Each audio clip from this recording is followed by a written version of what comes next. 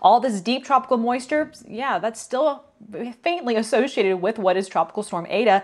Guys, it's barely moving right now. It likely won't be pushing up to the north until we get to about the next 12 hours. And as it does so, it is forecast to again shift more so to the north throughout Wednesday with some uncertainty kind of growing with that track, really the intensity, because simply the strength could impact how this track lies. If it's a little more on the weaker side of a system, it will continue to drift more to the west. If it's a little stronger, we could be a little bit more so to the eastern half of that cone. So we'll have to watch this closely, but big picture, in case you've missed it over the past 24 hours, this track has overall taken much more of a westerly turn. And what's happening is that over the next couple of days, due to its proximity, we're still going to see that chance for passing showers, some passing downpours, and breezy conditions through the middle of the week.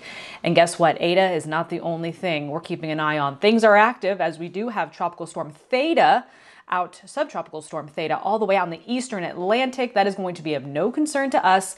Then there's this area in the Caribbean, a tropical wave in the eastern Caribbean that we're keeping a very close eye on because by the end of the week into the weekend, this could potentially become a tropical depression somewhere around the western or central Caribbean. So, of course, we'll keep you updated on all those changes.